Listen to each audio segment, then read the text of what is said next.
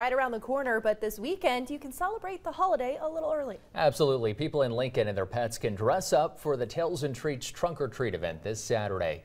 1011's Kirsten Foote joining us live from the Capital Humane Society. Kirsten. Hey, Brian, Danielle, good morning. We are here at the Capital Humane Society. I'm with Matt Machero, and bless you, I'm with Bowling Pin. Bowling Pin is dressed up. He's ready to go for tomorrow's event. It's from 4 to 7 here at the Capital Humane Society.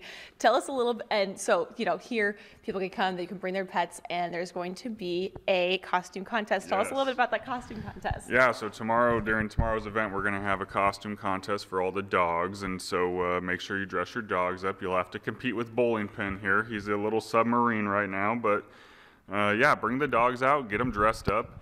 Last year, to be honest with you, uh, the dogs actually had better costumes than a lot of the kids. So, no offense to all the parents out there, but the dogs had some really nice costumes last year. And so, uh, come on out, get them dressed up, and uh, the how the contest is going to work is you're going to go around to all the vendors, and ultimately, the vendors are the ones that are going to vote for best costumes. So, make sure you sign in, get your get your costume number, and go visit all all the vendors and make sure they see your dog's costume so that when it's time to vote, uh, they'll remember your dog and, and hopefully you'll uh, be the top dog, so to speak.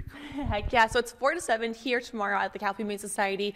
Uh, you can sign up online or you can register at the door, mm-hmm. and all those funds are going to help the Humane Society. Um, what if someone wants to come, how do they sign up? Yeah, so go to our website, capitalhumanesociety.org, and so you can pre-register today uh, through midnight. It's five dollars per child or per dog. Um, otherwise, day of tomorrow, you can walk up, but it'll be ten dollars per person or dog. So take advantage of the of the pre-registration. Go to capitalhumanesociety.org today. Awesome! It's gonna be a super fun hangout session. Bowling Pin's gonna be there. He's probably gonna be in a submarine. He's a little tired. it's gonna be a fun time. You're welcome up. Thanks, Matt. Back to you, Brian.